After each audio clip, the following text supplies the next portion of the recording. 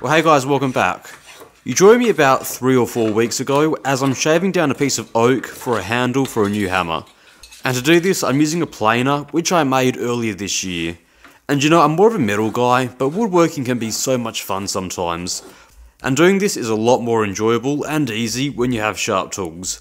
Which for the blade meant using a combination of diamond stones and the wet sander, which I also made earlier this year.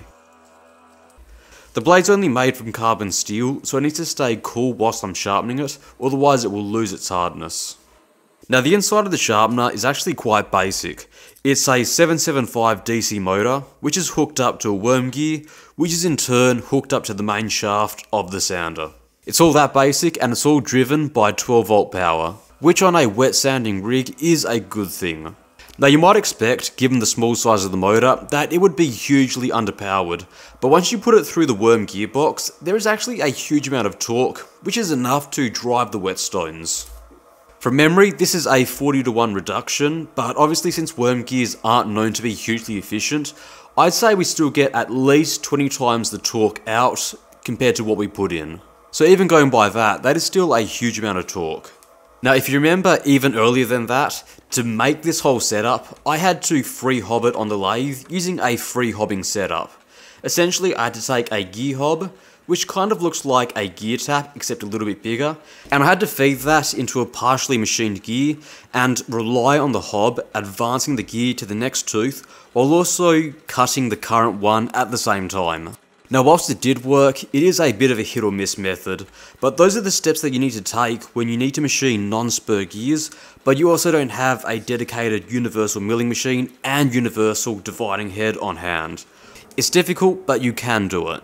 And at least so far, the gearbox has held up really well. I did get a few questions asking why I went to all the effort of making the gear hob and heat treating it, when instead I could have simply used a thread tap to make the gear.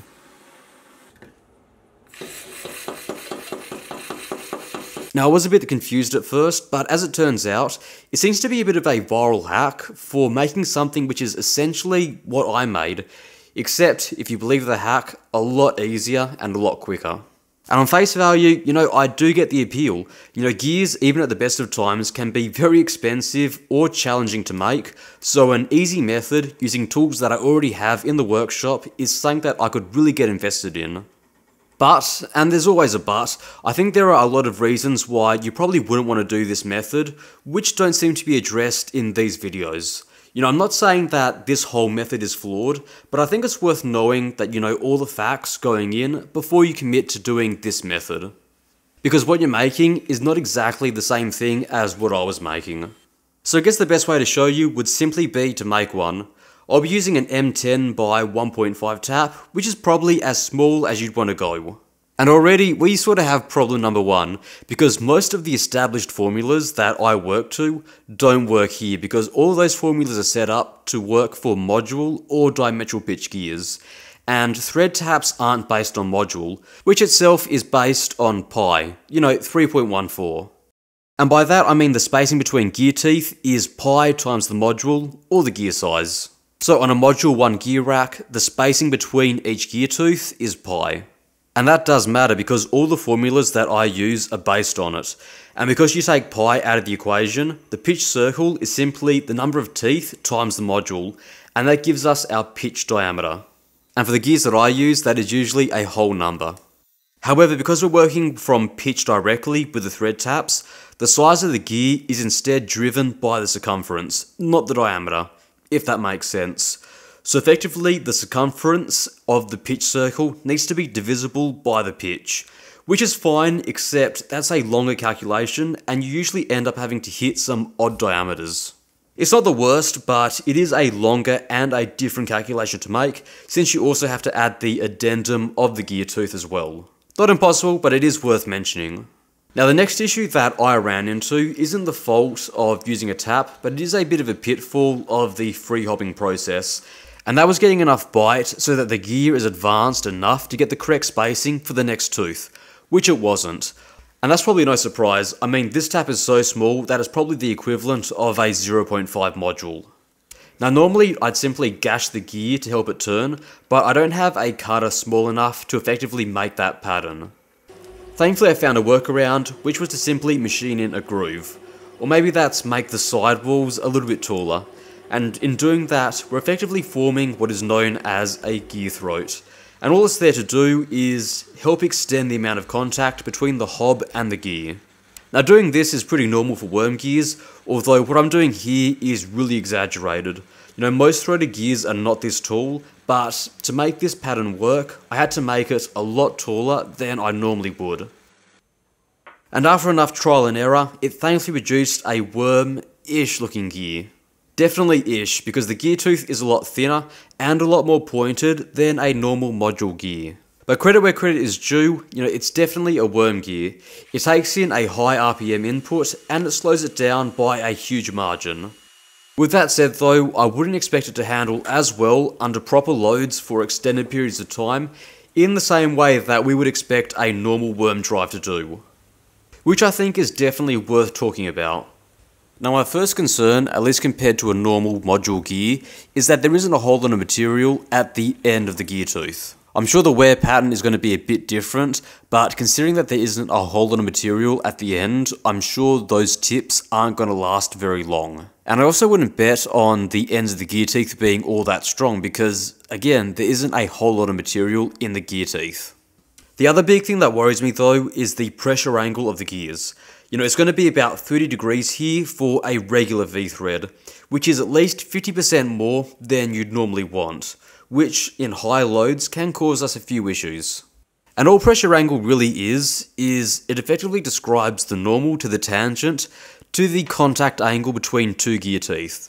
Effectively, it just describes the angle of the transfer of force between two gear teeth. And normally, it is not something that you'd have to think about because most gears these days are 20 degrees. Some older ones are 14.5, but most of the ones that I've ever seen are 20. But these are 30. Now the increased pressure angle should result in an overall stronger gear tooth. Which does go against what I said earlier, but I do think the root of the gear tooth should be stronger.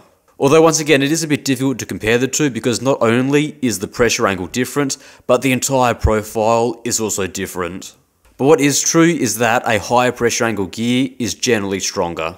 And if you need strong gear teeth, that's probably a good thing, but you are going to be getting a trade-off at the expense of efficiency. Because more of the force, if you break it down into its components, will be wanting to push the two gear teeth away rather than actually wanting to turn the gear, which is what you want. Effectively, that should result in a less efficient system, in a system that's already quite rubbish in that respect. As a fallout of that, I'm also quite sure that you see a good amount of extra force going through both shafts because they now want to push each other away more than they'd already want to. Now that's probably okay with light loads, but I probably wouldn't want to run that for extended periods of time. And on top of that, I'm still skeptical of the tooth profile itself. You know, I would suspect that due to the pointy profile, there would be a bit of excessive rubbing down inside the gear tooth itself. You know, I'm no gearologist, but that profile still doesn't sit all that well with me. With all that said though, I still think there is some validity to this method, you just need to know all the facts when you are going in. Because I think realistically, if you're not building some tight tolerance gearbox that is going to receive a high amount of load, and you just need to repair something quick, or you need something that you just want to get done, this method is probably okay. I mean, if the loads aren't going to be that high, or you aren't going to use it a whole lot, I don't see why you couldn't use this method. I mean, all of us have thread taps on hand, but I'm sure not all of us want to buy slash make a proper gear hob. Plus, if you have a lathe like mine that doesn't cut in module pitches, so you can't cut most worm gears to match, I don't see why this method couldn't work. Even on my setup, I wasn't able to cut a perfect worm gear, I had to settle for something very close to 0.8. But in my setup, given the lighter loads that I was expecting, this setup worked just fine. Now if you do choose to use this method, I would still recommend that you use an Acme or a metric trapezoidal cutter. Acme cutters do produce a 14.5 degree pressure angle, which is correct for a lot of older gears, and trapezoidal should give you 15. Now the width across the flats are still going to be wrong, so you won't be producing a proper gear profile, and it's still going to be circumference driven, not diameter. But you still end up with something that's very usable. Not perfect, but if it does fit within the constraints of your design, I don't see why something like this wouldn't work, at least in a pinch. And if that's all you need, I don't see why it wouldn't work. And that's about it for this week. I hope you enjoyed this video. Thank you very much for watching. See you next week.